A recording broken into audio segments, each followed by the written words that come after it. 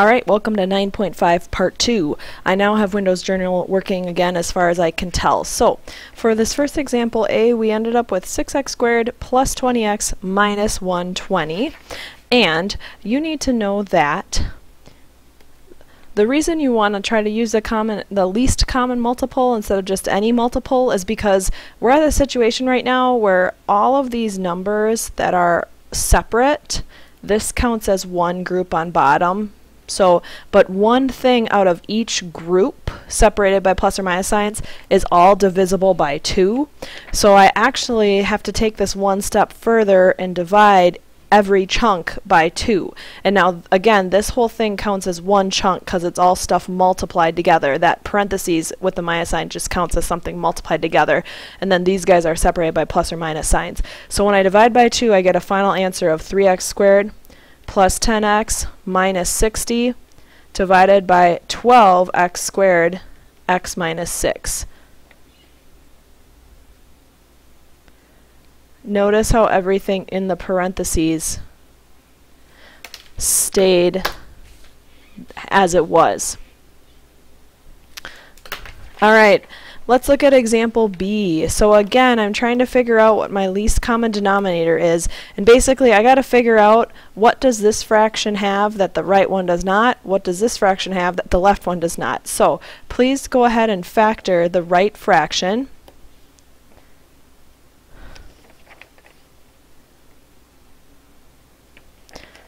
I hope that you are thinking a 3x squared can be pulled out with a leftover of 2x plus 1.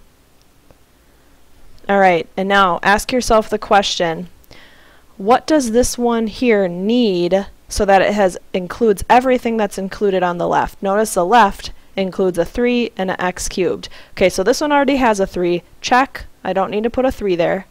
But this one only has x squared and this one has x cubed, so I need an x to make it match. Now ask myself, what does the right one have that the left one does not have? So we made it now so that the 3x cubed is going to be the same, check, but the one on the left does not have a 2x plus 1 on bottom. So this one I need to multiply by 2x plus 1 over 2x plus 1. Again, we're going to multiply the tops. So in this situation, I'm distributing that 4. I get 8x plus 4 on top of the left fraction. And now my denominator is going to be 3x cubed times 2x plus 1. For the right fraction, x times x is x squared. And I again have 3x cubed times 2x plus 1 on bottom. Once you have the same denominator, now is the step where I'm going to just rewrite the denominator. So 3x cubed times 2x plus 1, and then I add the top, combining like terms if possible, and I'm adding because it has a plus sign. So this time there's nothing that can match. So x squared plus 8x plus 4 on top. For our purposes, we're going to stop here. Sometimes some of the book problems, they might, after this step, factor and try to cancel. We're not making you do that for this class. So once you get to this step, you can be done. Once you have that finished written down, flip to the back. With C and D, we're looking at two problems that actually have the trinomial factoring where we got to have the two parentheses. So for me right now, why don't you pause the video and factor out both of the denominators for part C and do, go ahead and do D right away while we're at it. Alright, here's where we're at. x squared plus 4x plus 4 factored to x plus 2x plus 2, x squared minus 4 factored to x plus 2x minus 2. And then you can see these over here for D.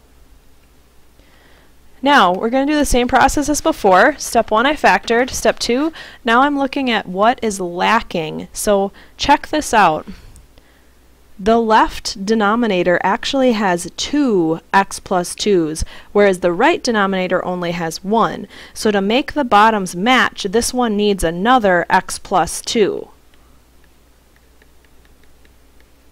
And now when I look at the left side, see now the right side has two x plus 2's and also an x minus 2. So this one on this side now needs an x minus 2.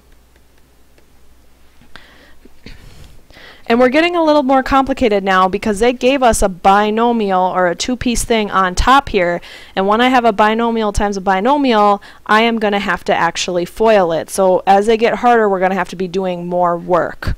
So here is me foiling it. Firsts, outers, inners, minus 2x, lasts, minus 2.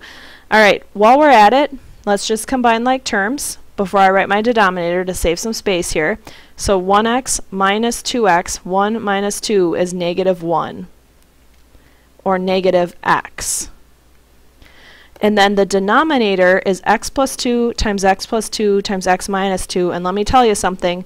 If you have something that's just repeated, you can just write it x plus 2 squared because there's two of them. That saves you some time. So that's my first fraction. For my second fraction, I'm going to teach you something here that's very important and is new with examples C and D. See how there's a subtract sign right here? That subtract sign goes with the 2. So when I am going to distribute this, and, and there's two ways to do this problem. Let me just throw it out there. The first method is I could just keep it as a subtract and distribute the 2 and then distribute the subtract sign later. I personally like to distribute the subtract sign right away just because I think it saves time. Let me show you what I mean. I'm going to say this is a negative 2, and once I have used it and distributed it, now it's just plus. But negative 2 times x is negative 2x. Negative 2 times 2 is negative 4 the bottom is the same as what we had on the left side, x plus 2 squared, x minus 2. And now because I've already distributed that negative, I put a plus sign there. And when I have a plus sign, that means I can just on top combine like terms. So when I look at this, I've got x squared with no partner. And when I combine like terms, I've got x squared, and then I have negative x plus negative 2x. So remember, if it's negative x, it's really like negative 1x. So negative 1 plus negative 2 is negative 3x's. And then for my numbers, I've got negative 2 plus negative 4. So negative 2 plus negative 4, negative 6. And then the bottom is just the same thing we've been working with, x plus 2 squared, x minus 2. All right, let's look at D. We already did one of the hard parts, which was factoring it. And now I specifically made this problem very similar to C so that you could have a, some extra practice doing what we just did. So again, think about what, what does this right fraction need that the left one has, but it's lacking right now. So notice the left one has 2x plus 3, so I need another x plus 3 here to make that mat. And for the right one, I need another x minus 3 or I, not another one, but I just need x minus 3 so it matches here. Alright. The left side, I need to FOIL that. So I'm thinking x squared and then negative 3x plus 1x. Negative 3x plus 1x is negative 2x. Negative 3 times 1 for the lasts is negative 3. For the denominator, I've got x plus 3 squared times x minus 3. Now, for the right side, again, two options of doing this. You can distribute the subtract sign now or distribute the subtract sign later. Your choice. I am going to, again, distribute the subtract sign now. So that means one, once I use it, it's turned to a plus, but when I distribute it, these things are going to be negative now. So negative 1 times x is negative x. Negative 1 times 3 is negative 3.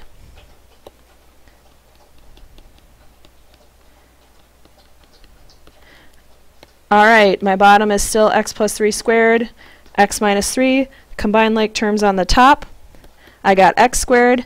I got negative 2x plus negative 1x, so negative 3x's.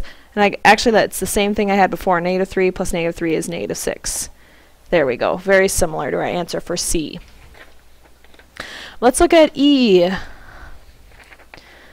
Alright, E is an example where you actually don't have to factor anything. I get to right away start multiplying. So again, ask yourself, what does the right side need What does the left side have that the right side does not have?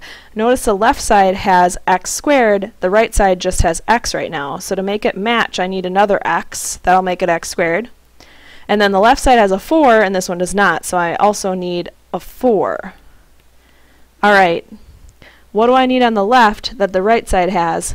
And when I look at this, it doesn't need an x because it already has all of them, but it needs a 5, so I'll multiply by 5 over 5. Alright, I'm left with 30 over 20x squared plus 2 times 4 is 8, so 8x over 20x squared. Once I have my common denominator, that's just 20x squared, add the top 30 plus 8x. Those can't be simplified, but see how every single piece, every single chunk can be divided by 2. And this is something that students are often confused about, so we can talk more about that particular thing in class. But because all of them can be divided by 2, I can divide every number by 2, and then this fraction is going to be equivalent, it's just times 2.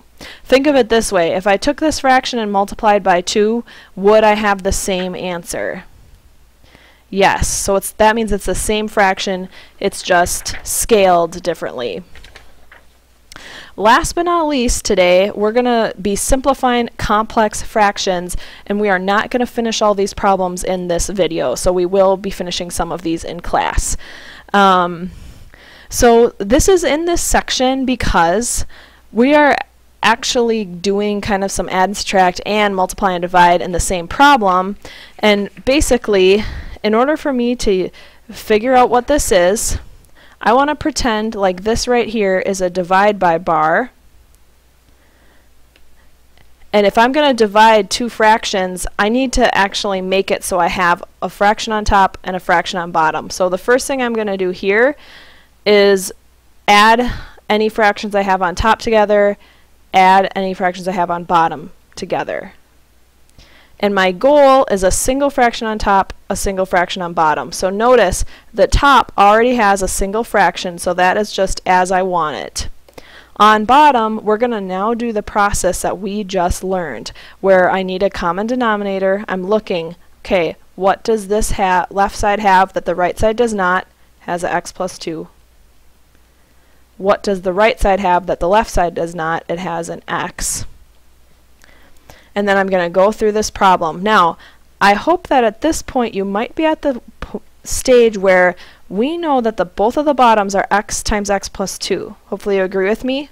If it's alright with you, let's save some writing and let's just write that denominator down immediately. So we know it's going to be x, x plus 2, and I know I'm going to add together everything I have on top. So when I look at what I have here, x times 1 here is x plus, and I'm adding and now 2 times these guys, so 2x plus 2 times 2, 4. Alright, so really, my fraction looks like this. 2 over x plus 2, and then I've got 3x plus 4 over x, x plus 2.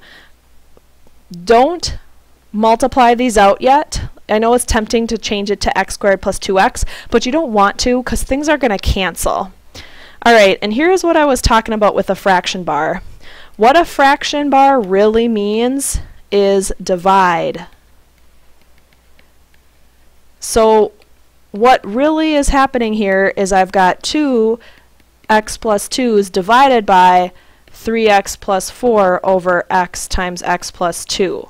So a fraction bar really means divide. So what I've done by writing it like that is I've turned it into a problem that's just like what we did in section 9.4. And I hope you now remember, oh, okay, 9.4, when I have a divide, change it to multiply, take the reciprocal, and the point of this is things should cancel. So in this situation, you can pretend like everything, every chunk has a parentheses around it the x plus 2 and x plus 2 cancel. So on bottom, I'm just left with 3x plus 4. And on top, 2 times x is 2x. So 2x over 3x plus 4. Thanks for listening. We'll do B and C in class.